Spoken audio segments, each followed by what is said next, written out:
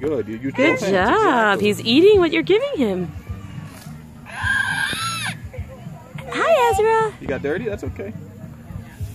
Good job, Alicia. You fed him so nicely. Okay.